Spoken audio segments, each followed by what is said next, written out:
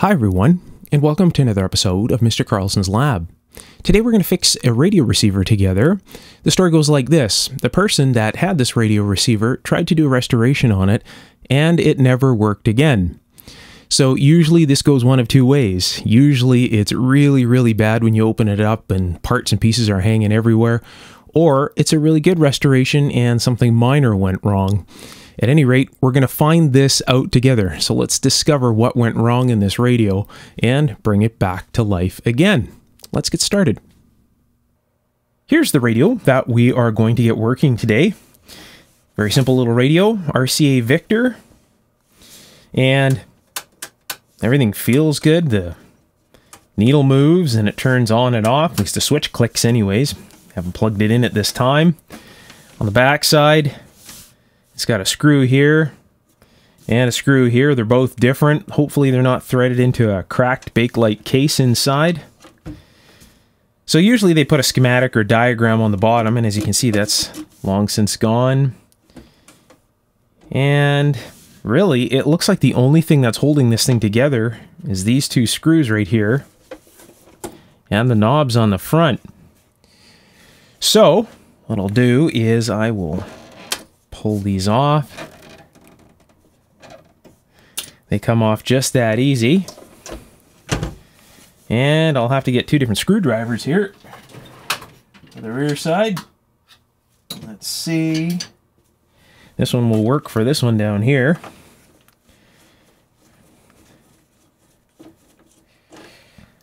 Look at that. You can see that. Kind of a star washer on that.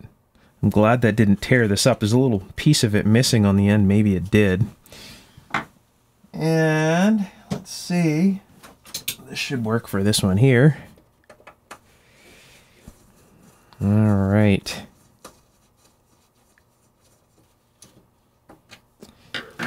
And if all goes well, hopefully we are in. So put this down like this.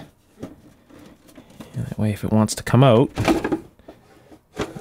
nice and easy to get everything off, just like so. So put this behind my chair very carefully. Speaker's in very nice condition. Look at that speaker. Looks brand new. This radio looks like it's in very nice condition. I can see why he wanted to restore this. Look at this thing. Almost looks like it came out of the box. Well, already I see a problem. I already see a problem here. So what I'm going to do is I'm going to reposition the camera here and we'll take a look at this problem that I see. I'll give you a quick view of this right here. And you can guess at the problem if you don't already see it. And I'll reposition the camera and I'll be right back. The first thing I noticed when I removed this radio from the case is the vacuum tube placement. So I'll start over here with this variable capacitor. So when I move the tuning around, as you can see, the needle moves and the capacitor moves at the same time because they're all attached by a dial string, which doesn't feel all that incredibly smooth, but it works. At any rate, what happens here is there's two sections in this capacitor. So this tunes the antenna, which is on the back here. You can see this wire that's on the back side. And this portion of the capacitor tunes the oscillator.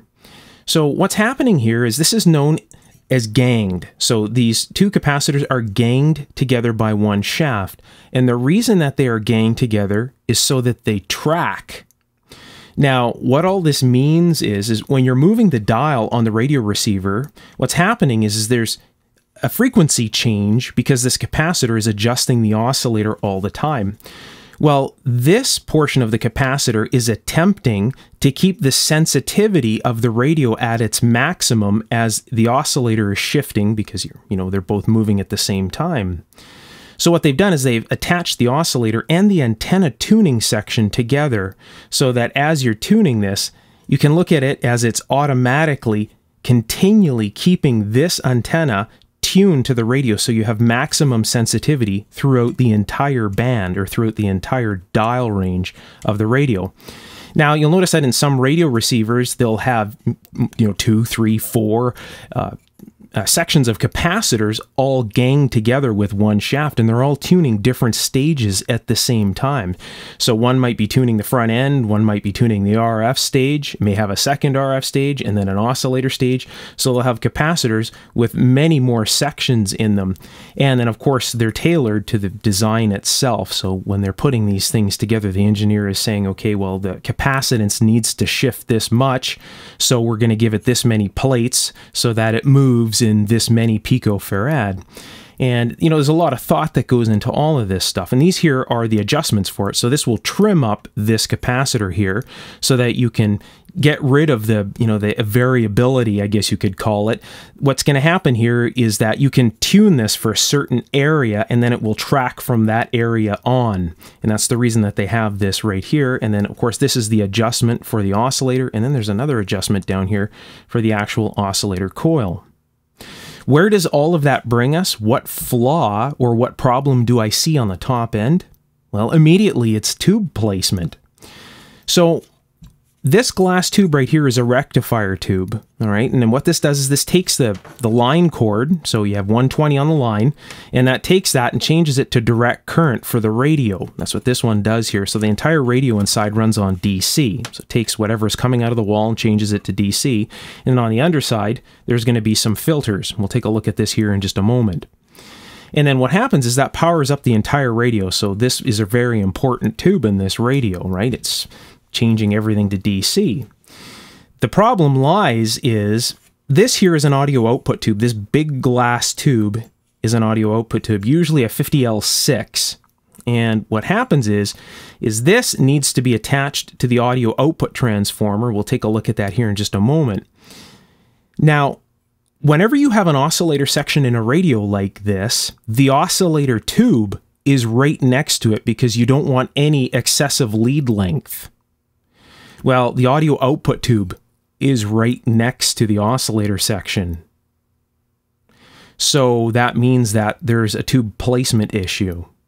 They wouldn't put the oscillator tubes over here and then run all the leads all the way over to the oscillator coil.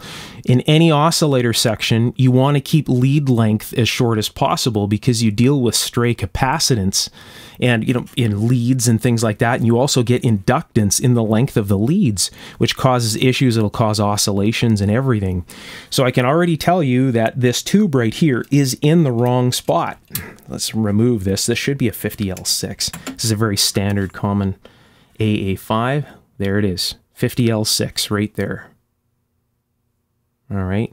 Gt is glass tube and then g is glass. All right. Made in canada. Don't see that very often anymore. Okay, so we know that we have a problem there. Now, the 12SA7 will be the oscillator tube that should be in here. A 12SK7 is known as an IF amplifier, and the 12SQ7 is an audio amplifier and a detector tube. Okay, so let's see what they plugged in right at the opposite end of the radio. There it is. 12SA7. This is the oscillator tube. So this is going to need to be in this socket right here.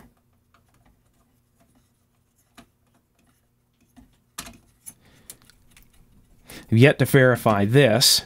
Okay, so we know that that already is wrong. So we'll just leave this out because I don't know the placement over here. I have a really good idea.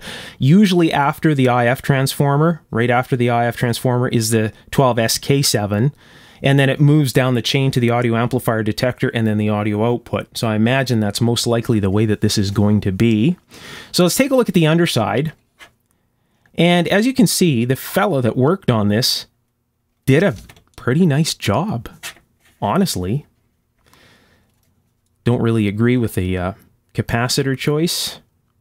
I stick to Rubycon, Nichicon, United Chemicon. I'll stick to those because I know that they're very good.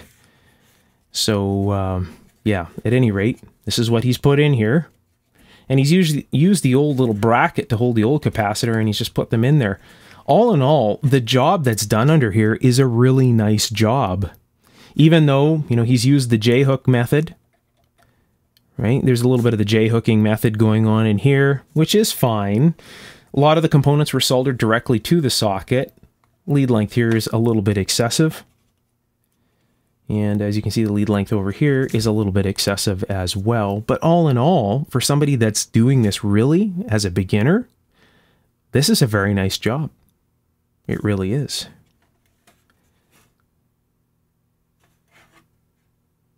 Put it this way, I've seen a lot worse. So all in all, it's looking really good on the bottom. So now we want to know if the rectifier is in the right spot. So this is the rectifier here, okay? And as we can see, the line cord runs over here, right over to here. One way to find out if it's in the right socket is to follow the lead to the rectifier, and that would be this lead right here. Now this could have been replaced, you know, it's a little bit crusty here, and this could have been replaced from this point all the way back to the socket, but you can see this runs directly over here to the rectifier right into this, right, which is a filter capacitor.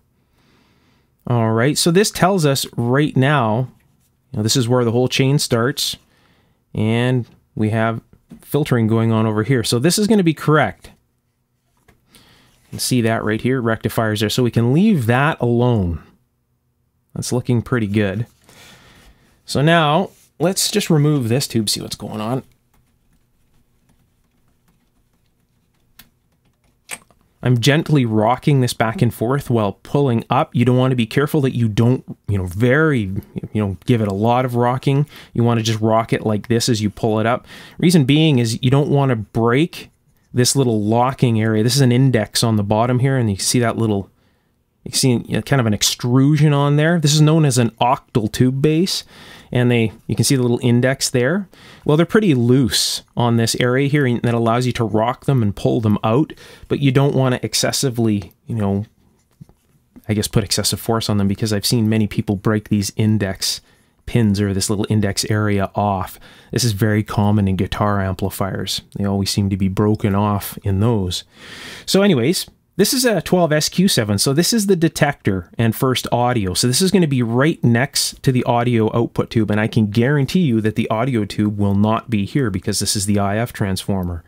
So this is going to be the IF. Okay, so this should be a 12SK7. It is. Okay, so 12SK7 here.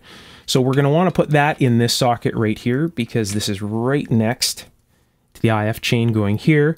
And then it's going to run from this tube into the detector in first audio, which is most likely going to be this tube right here. We'll just verify this in a moment. I'll take a look at the bottom of the chassis. Plug that in there.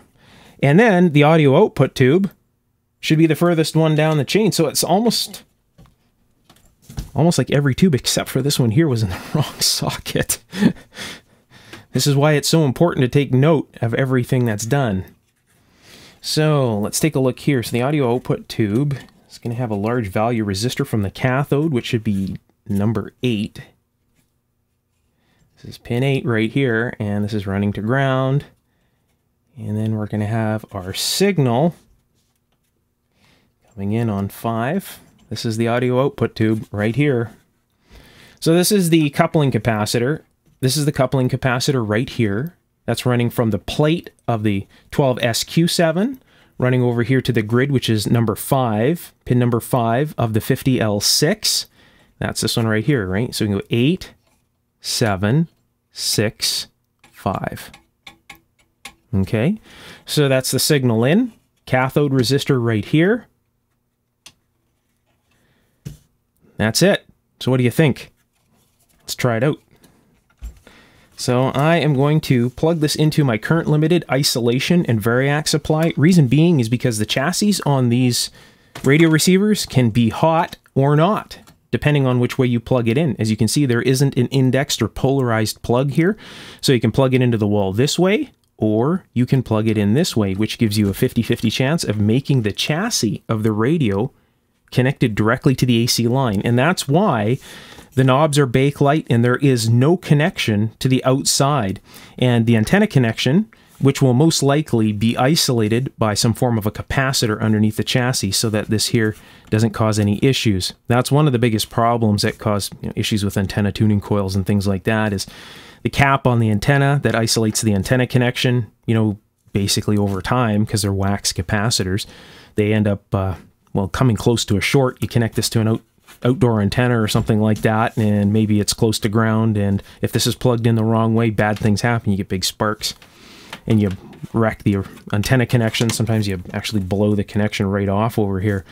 So Whenever a radio like this is worked on, it's always advisable to use an isolation transformer. Mine is current limited, and I also have it on a Variac as well, so I can bring it up slowly, which we are going to do right now. So plug this in. There it is. Turn my Variac down. And let's see here. I'll put this on like so. I'll turn this up to about Variac up to about 50 volts. Turn this on. That's normal. You'll see the light light up just a little bit. And as the radio starts to pull current, so basically as the rectifier tube heats up and the rest of the radio starts to draw current through the rectifier, this here will get brighter. And since I'm at 50 volts on the line, that is going to take some time. See if I can get some of the light out of here so we can see this just a little bit better. So it's looking good okay, and it's not drawing excessive current.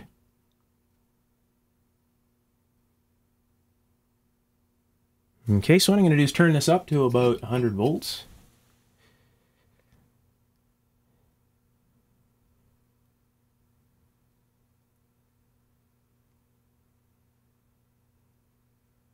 I think I hear a bit of hum now. I do.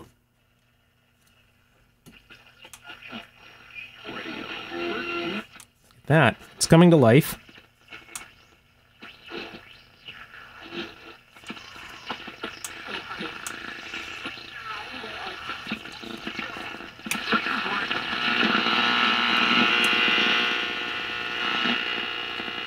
It's coming to life.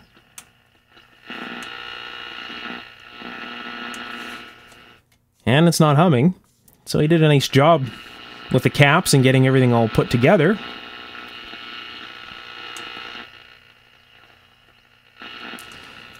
Okay, I'll turn this down and give it full line voltage. All right, everything should get nice and warm now.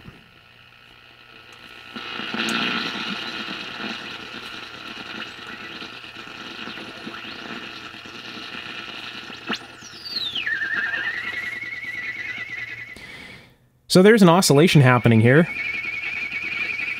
This is good for Halloween.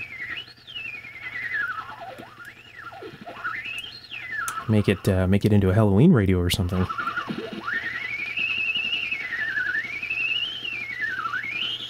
Okay, that's enough of that.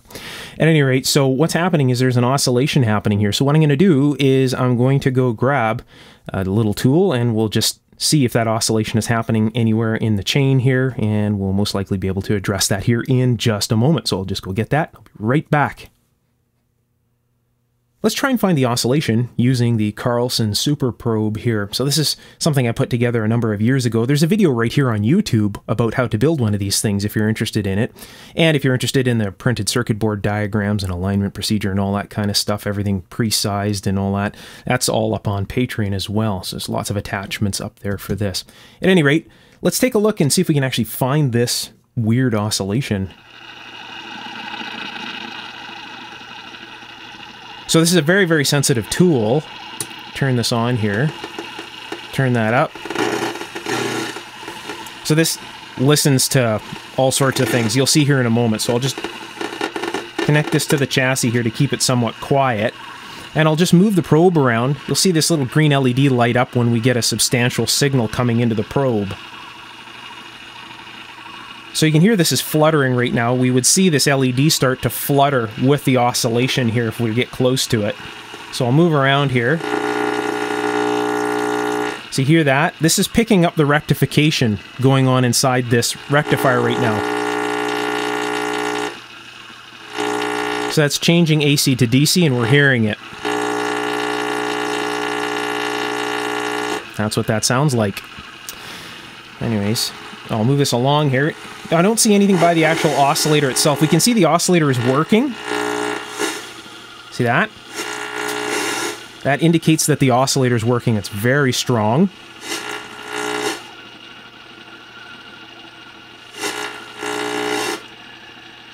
And then again, this is the rectifier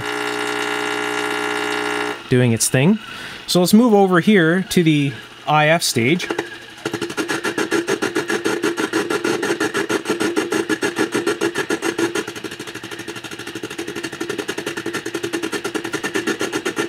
So we can see that the oscillation is in the IF section.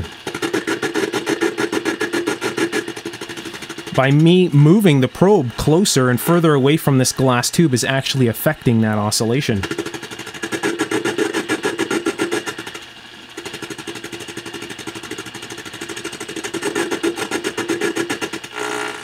And we might even see...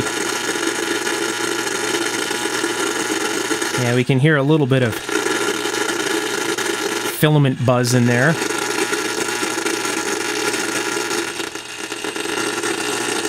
And a bunch of other things going on. If I tuned this into a station, we'd actually hear the station in here, most likely.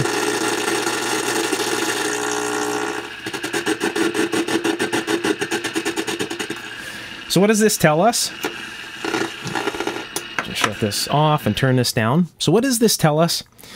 Well, I'm about to forecast what's going on here. Every one of these radios tells a story, all right? And as you work on this kind of stuff more often, you get to realize what's going on and you get to see a chain of events. What's happened is the tubes have been put into the wrong spots What's the next thing that happens? Well, nothing happens, right? Because all the tubes are in the wrong spot. Chances are, now I don't know this yet because we haven't, you know, stuck screwdrivers in any slots here and tried to tune any of the IF transformers or anything like that. But usually what happens is, is since nothing comes out of the radio at this point, the next best thing to do is start turning everything in sight.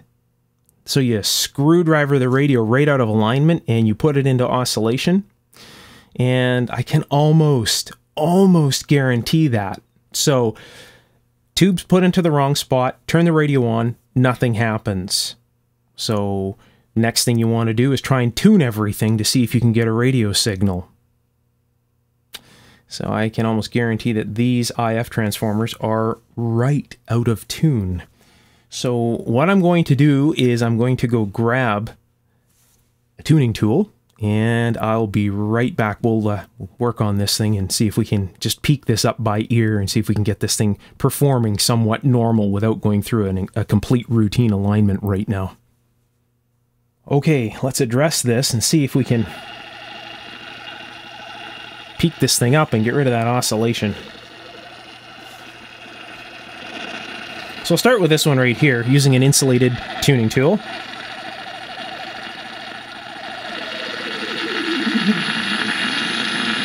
Wow, listen to how that's coming up, eh?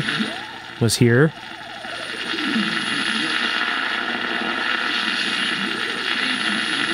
Right about there.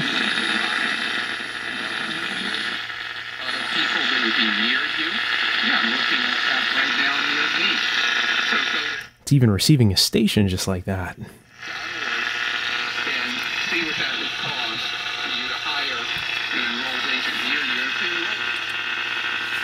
I just want to peak for maximum static right now.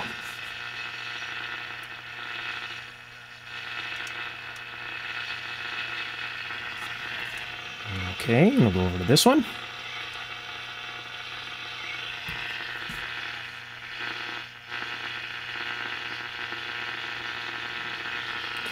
All right, then I'll go back over to this one here.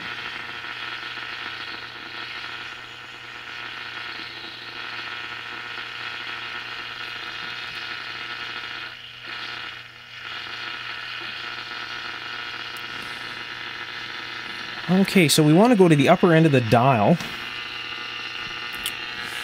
and give this a bit of a tune. We'll see what happens here. This is the antenna tuning section, so turn that down. And how we can tell that we're going to the upper end of the dial without actually looking at the dial face, how can we do that? You might want to take a guess on that right now. Well, when the capacitor is fully meshed, so all the plates are inside of each other, it's at the lowest frequency. When the plates are completely out of each other, it's at the highest frequency. So again, this is just a, a quick preliminary tuning. As you can see, I'm moving this open. Okay, so this would be the upper end of the dial right here. If the plates were to go this way and be fully meshed, that's going down in frequency.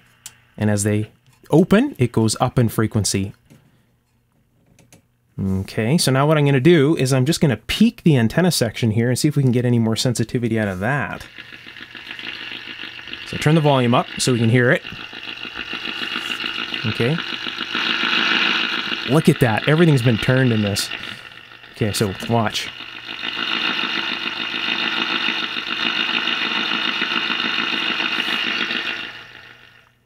Now this one here and this one here will adjust the dial tracking to make this track correctly. And these here are adjustment points. So you adjust this and these are these correspond to frequencies on the dial, so you don't have to have the dial glass there. We won't worry about that right now. All we're going to do is just see if we can get this thing working.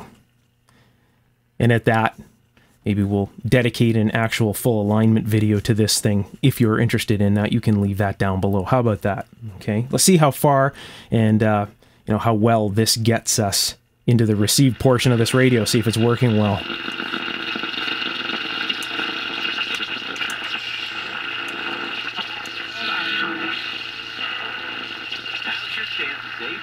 all your favorite.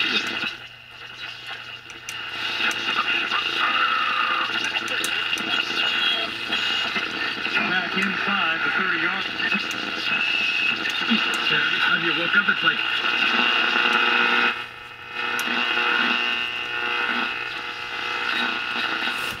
It's doing extremely well for being in the lab here because the lab is there's basically no reception in here whatsoever.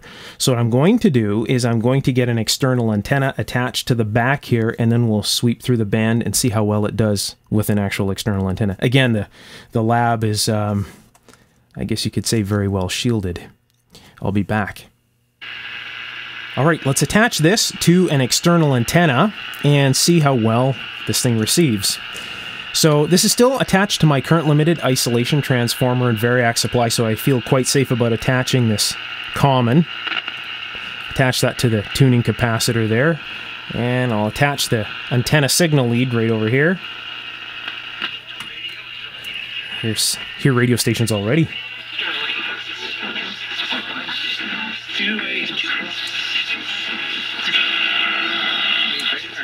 And we examine the race.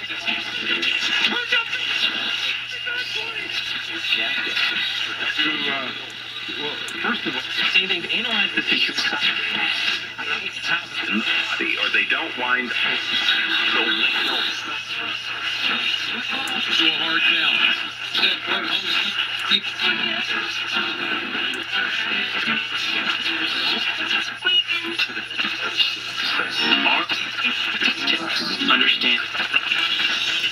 There are radio stations everywhere. This thing is really trying to receive.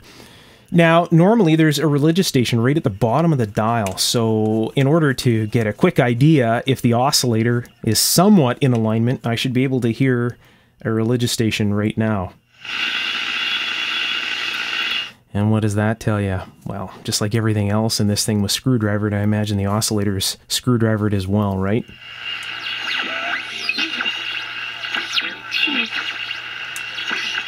Yeah, there's no religious station down there whatsoever. It's it's out of alignment here.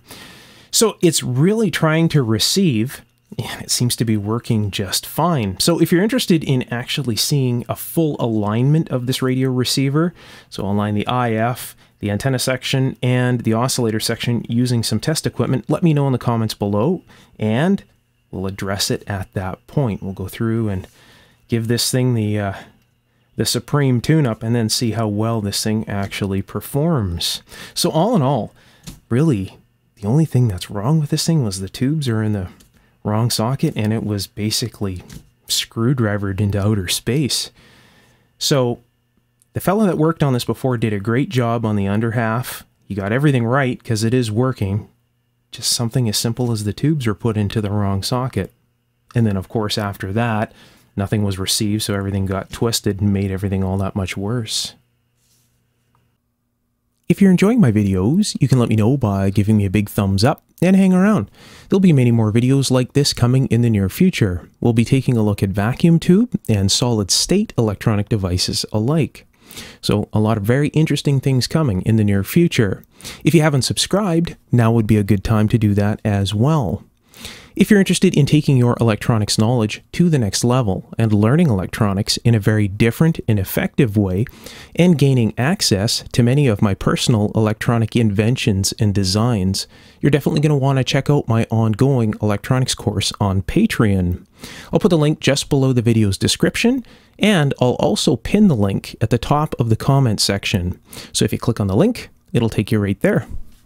All right, until next time, take care. Bye for now.